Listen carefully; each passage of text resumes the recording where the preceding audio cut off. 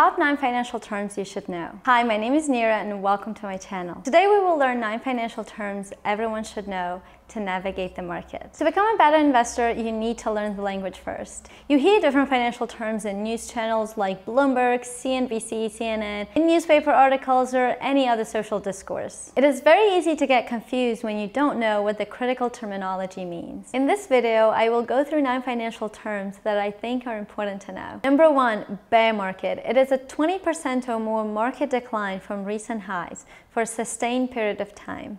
It happens when investors want to sell rather than buy and opt for safer options like cash or fixed income securities like bonds. Some of the most prominent examples include the Great Depression of the 30s, dot-com bubble in 2000 and the housing crisis of 2007 and 2008. Number two, bull market. It is the opposite of bear market when prices for stocks, bonds, commodities, and other financial instruments rise 20% or more for extended periods.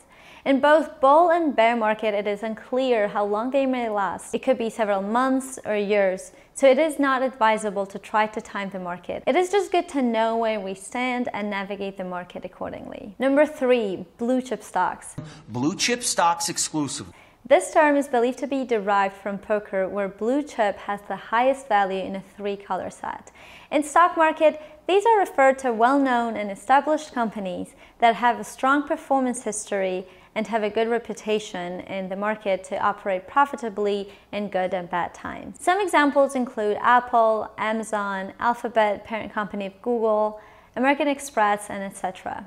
Number four, capital gain. It is the increase in your asset's value and is realized when the asset is sold. For example, when you buy a stock for $50 and a month later the same stock costs $70, you have $20 in unrealized capital gains because you haven't sold the stock yet. Let's say you decide to sell the stock a week later when it is at $65. Your realized capital gain is $15. Capital gain is not only used for stocks, but any other type of assets like bonds, real estate, even furniture or boat, given that you sold them at a profit. Number five, compound interest. If you watched my previous video on investing for beginners, you may know this already. Simply put, it is the interest you earn on interest. For example, if you put $10,000 in an account that pays 1% in interest annually, in a year you would earn $100, bringing your total balance to 10,100. The next year, you will earn interest on $10,100, which is $101. The $1 is what you earned on last year's interest earnings. From this demo table, you can see every year you earn more in interest because it is compounding from the interest earned in the previous year. Number six, defined contribution plan. It is the most common workplace retirement plan in which an employee makes before or after tax contributions towards the plan and the employer typically makes a matching contribution. 401k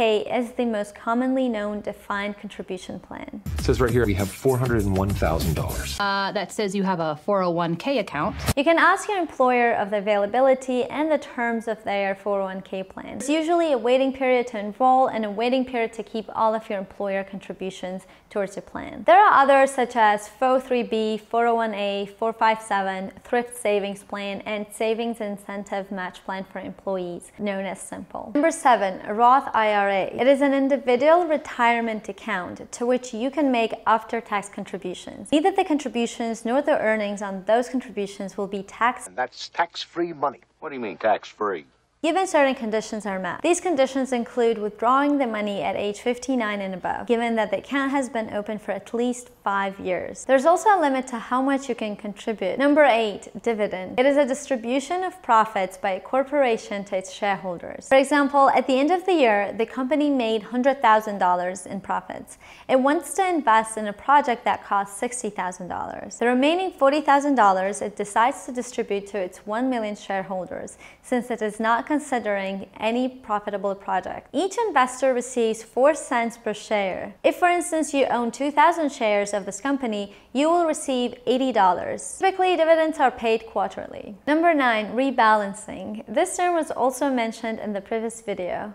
It is the process of buying and selling assets in a portfolio to bring them to the desired or initial asset allocation or risk. Let's look at an example. Consider that you invested 50% in stocks and 50% in bonds. Over time, given that the value of your stock increased more than the value of your bonds, your portfolio is now 70% stocks and only 30% bonds, which is considered much riskier portfolio. Given your target of 50% stocks and 50% bonds, you will have to sell some of your stocks and buy some bonds in order to bring your portfolio back to the target. These were the nine financial terms that I wanted to share with you today. Thanks for watching. Check out my video on investing for beginners.